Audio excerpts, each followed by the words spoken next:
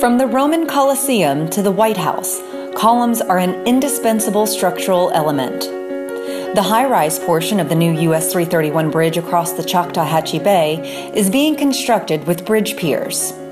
For this portion of the bridge, a total of 21 piers will support the bridge that spans the intercoastal waterway. The piers are comprised of footings, columns, and caps.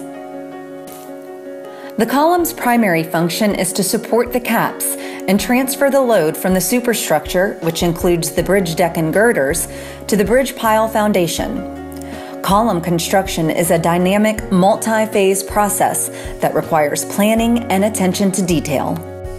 First, crews assemble a column cage using reinforcing steel, also known as rebar. The cage reinforces the column under tension forces, and the concrete supports the column in compression, making an economical, strong, tall, slender column. The tallest cages used for this project range from 50 to 60 feet and weigh 20 to 25,000 pounds. We will rig up to the cage. The rod busters will use our pick and beam and uh, a three-point pick basically to rig up to the column cage picking point in the top, the middle, and the bottom. And we'll use two lines with the crane and just basically stand it up from a horizontal to a vertical position. Uh, we'll swing it over and set it over top of our beams on top of the footer. Once the cage is set, crews focus on the formwork. The column forms are 9 feet by 4.5 feet and range in height from 10 to 52 feet.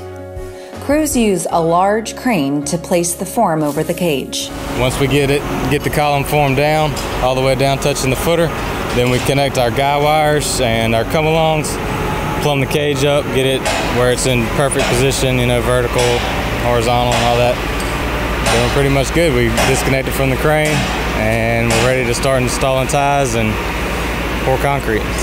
Once the cage and form are in place, an inspector climbs into the column for a thorough assessment.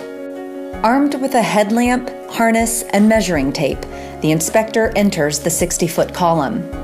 Conditions inside are dark, hot, and humid. The inspector must move carefully during the 30 to 60 minutes it takes to complete the inspection. Here you'll see the vibrator in place for consolidation of the concrete as they pour it. These are hairpins.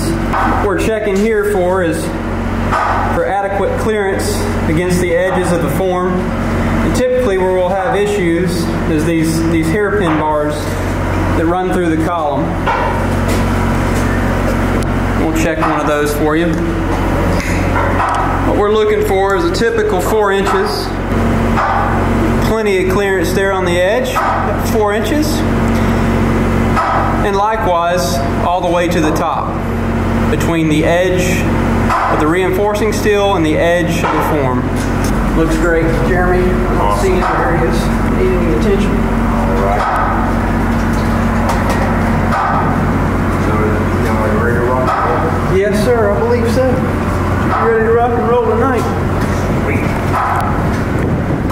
A column passes inspection, crews are ready to pour concrete, about 60 cubic yards for each column.